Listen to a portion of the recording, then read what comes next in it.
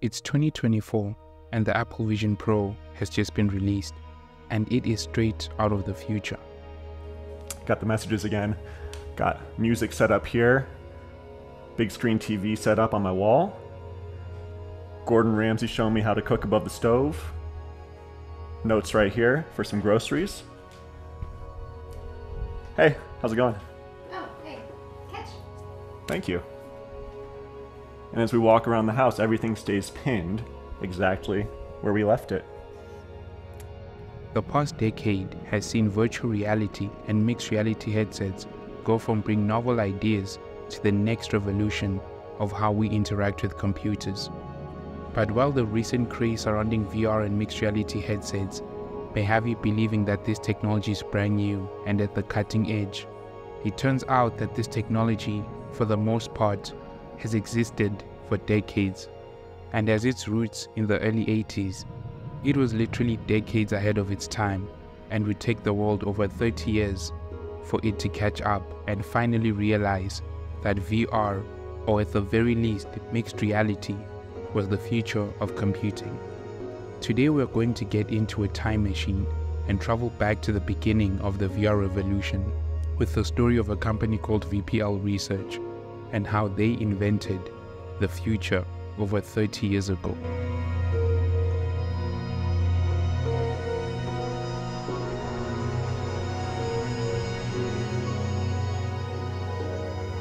Our story begins in 1984 with the founding of Virtual Programming Language Research, or VPL Research for short. It was founded by Jaron Lanier, who is widely considered to be the father of virtual reality and the person to coin the term virtual reality. VPL Research was one of the first companies to develop and sell virtual reality products. The device they invented was an input system for computers. It was called the Data Glove. It was revolutionary. It would be connected to a computer and it would track your movements and orientations as you manipulated and reorientated virtual objects on a computer screen. The data glove system measures and records the bending of finger joints fast and accurately. Dynamic measurements of hand operation can also be recorded and analyzed. The Data Glove was one of the first clear illustrations of the need for users to interact with computers in a more intimate way beyond the finger pressing of a keyboard and mouse. While you could use the data glove on its own to manipulate stuff on a computer screen, VPL didn't just stop with the data glove. They also created the Eyephone, a head-mounted display that immersed users into a computer simulation while tracking their head movements. In other words, a headset similar to the modern virtual reality headsets. These are the special glasses called the Eyephones that you put on, and um, when you put them on, you're seeing inside an imaginary world instead of inside the physical world. Mm-hmm. So uh, the idea is that by wearing computerized clothing right over your sense organs, you transport your sensory system into a reality that can be of any description. Beyond the visual immersion that the Eyephone provided, it also provided audio immersion through an audio component that would cover your ears. It was incredible. It tracked where sound was coming from in the virtual world meaning if you moved your head, you would hear the sound differently depending on your head's new orientation in relation to the sound source within the virtual reality environment, mimicking how our real world hearing works. VPL is also putting sound into virtual reality. The audiosphere renders sound in three dimensions, height and depth, as well as left and right.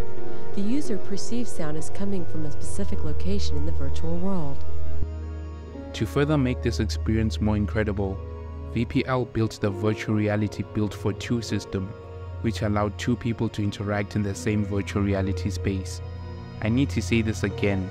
This was the 80s, the days before dial-up internet was even a thing. To complete the immersion experience, they created the DataSuit, which was a full body outfit with sensors for measuring the movement of your arms, legs, and full body, creating a full sensory experience like none other. This technology was so advanced that NASA began looking into research about how they could use it. For example, instead of an engineer having to go all the way to the space station for fixes of any problems, he could instead simply wear the VPL headset and enter a simulated environment of the space station and make the repairs remotely. Applications of this technology include control of remotely operated robotic devices and vehicles that require a sufficient quantity and quality of sensory input and feedback to approximate actual presence at the task site. Sadly for VPL, it was just way ahead of its time. It released a product to a market that was nowhere near ready to receive it. And if you couple that with its steep price of $10,000, there simply wasn't a market for their product. This lack of business eventually led to the company's bankruptcy in 1990.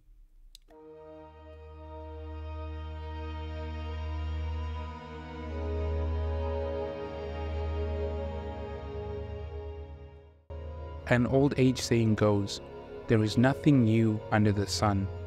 Almost everything that we think of as new or cutting edge was once new and cutting edge before. Sometimes it's not the exact same product, but the same ideas and concepts manifested differently and other times it's the reinvention of something that had already existed. In our case, the latter is true. Virtual reality isn't a new invention, it is a reinvention of an idea that has existed for decades, with the only difference being that this time the idea might actually make it to the masses and change the world, just as its originators had envisioned decades ago. One can only imagine a world with a more advanced VPL datasuit, and like how NASA looked into using the VPL datasuit for remote space station repairs, imagine if this technology could reach a level of sophistication that could allow doctors to remotely operate in countries with a desperate need for doctors. The idea that physical location should not be a constraint for human collaboration and expression is one that has existed as far back as the invention of the telephone, when it allowed us instant communication between people anywhere in the world. Then the internet took this a step further, allowing for a broader range of interactions between people in different physical locations. VR and mixed reality headsets are going to take this breaking of physical boundaries to a whole new level. The future is happening right before our eyes, the pages of history are being written as we speak, and they've got quite the story to tell.